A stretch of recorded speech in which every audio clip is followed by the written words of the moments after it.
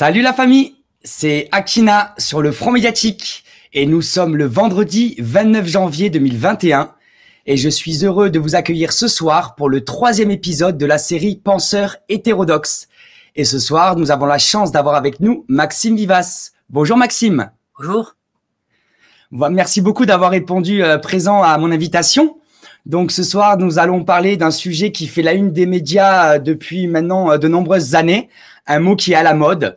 On va parler ensemble de fake news et on va aborder différents ouvrages que tu as écrits au cours des 10-15 dernières années.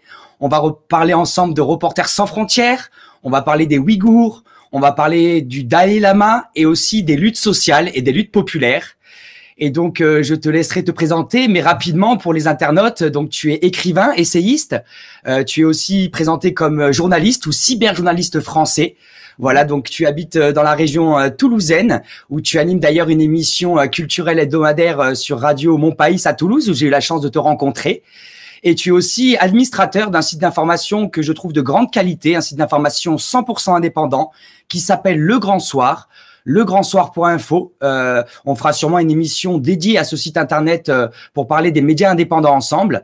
Donc un site pacifiste qui parle énormément de géopolitique et qui a publié à ce jour euh, pas loin un peu moins de 30 000 articles avec près de 2000 auteurs qui ont participé. Je rappelle donc à la communauté que ce soir nous sommes là pour la série Penseurs hétérodoxes. Cette série a la volonté de valoriser des regards divergents sur notre monde contemporain en effet, des les, intellectuels que j'interviewe dans cette euh, série s'écartent de la doctrine officielle et du dogme dominant en vigueur. Face à la pensée unique actuellement euh, qui est écrasante, c'est un appel aussi donc à la liberté de penser.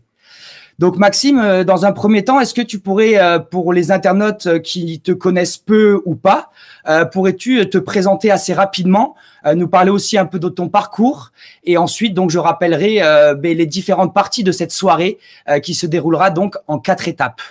Donc qui es-tu Maxime?